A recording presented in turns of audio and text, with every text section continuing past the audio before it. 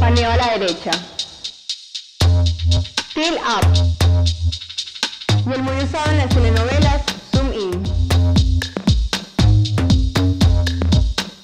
Ya conocemos los encuadres de cámara.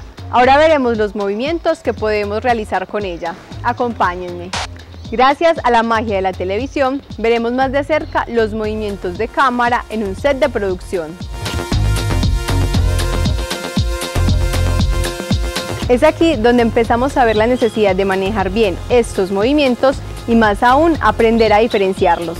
En producción existen dos tipos de movimientos, los que realiza la cámara desplazándose, bien sea sobre su mismo eje o cuando se mueve de su eje.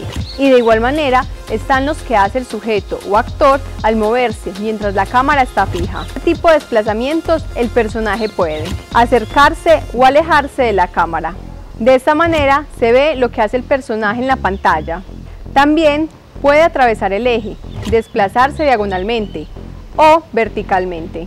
De esta manera podemos ver lo que realiza el actor como camarógrafo en pantalla. Estos eran los movimientos del sujeto en relación a la cámara estática. Ahora vamos a acompañar a nuestro camarógrafo mientras hace los movimientos de la cámara. Estos son los movimientos panorámicos o paneo. Paneo horizontal. Paneo vertical.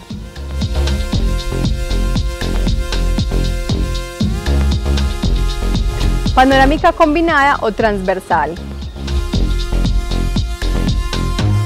Paneo circular.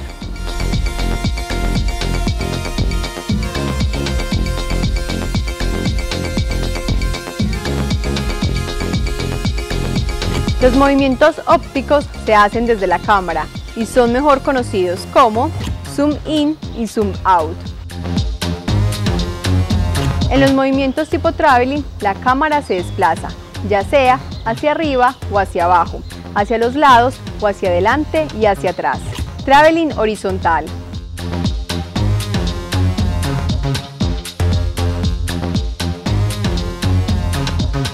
Traveling vertical. Traveling transversal. Traveling Avant y Traveling Retro o de retroceso. También se puede nominar Dolly In o Dolly Out. Cuando combinamos el traveling con el zoom, logramos el efecto vértigo y así se logra variar las proporciones del espacio sin cambiar el punto de vista que se tiene sobre el objeto o sujeto. Dolly Out más Zoom In hace que el espacio se comprima. Dolly In más Zoom Out hace que el espacio se dilate. Y estos son todos los movimientos de cámara, solo queda faltando la cámara subjetiva. La cámara subjetiva es cuando el sujeto es reemplazado por la cámara y se hace un movimiento sin cortes, que da una sensación de movilidad y fluidez. De esta manera hemos aprendido a diferenciar los movimientos de cámara. Corte.